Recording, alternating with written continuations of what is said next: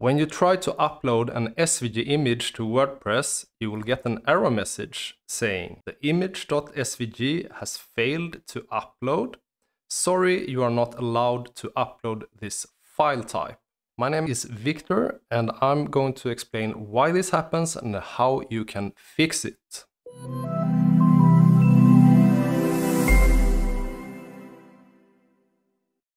SVG images are vector-based, so that means that they consist of mathematical formulas, while raster-based formats like JPEG and PNG consists of pixels. So the reason that WordPress doesn't allow uploads of SVG files is that there could be malicious code put into the SVG files, and that could lead to your site crashing or being hacked.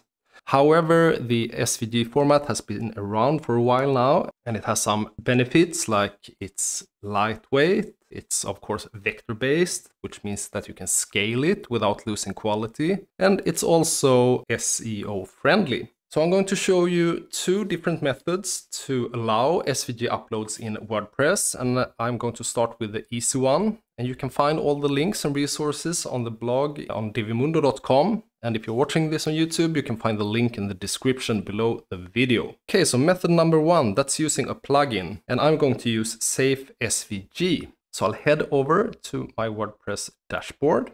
And from here, I'll go to plugins and add new plugin.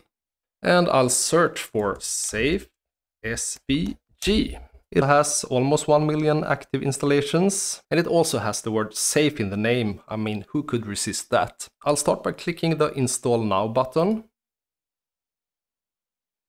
and I'll click activate. Well, now you're all set and done to start uploading SVG files. You don't need to do any settings, but I recommend that you take a look under the settings tab and media because if you scroll to the bottom, you can see a new section here with Safe SVG settings.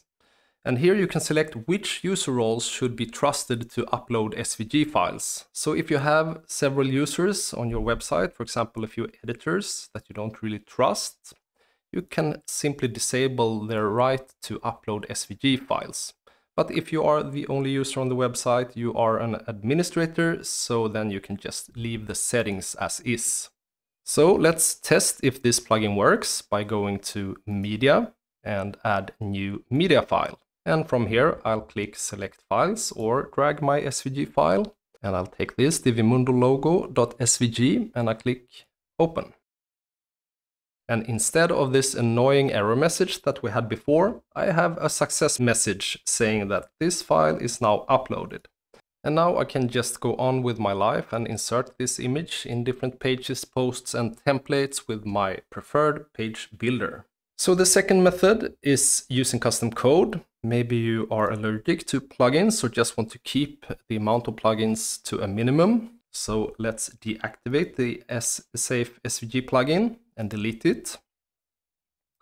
And go back to the blog post on divimundo.com because there we have the method number two, custom code. And before we start, uh, remember that you need a child theme if you want to insert code in the functions.php file.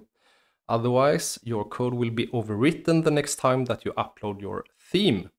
You can also use a plugin like Code Snippets to add uh, code to functions.php without getting it overwritten. So I'll start by copying this little code snippet and I'll head back to my WordPress dashboard. And from here, I'll go to Appearance and Theme File Editor.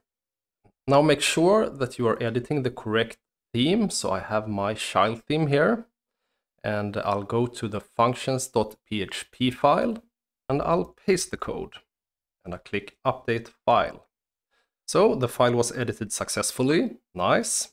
Now I'm all said and done, so I'll head over to my media tab and I click add new media file.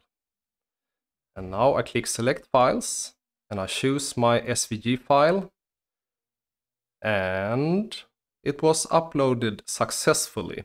That's all for today. I hope you enjoyed this video. If you did, please leave a comment, like and subscribe. That would make me very happy.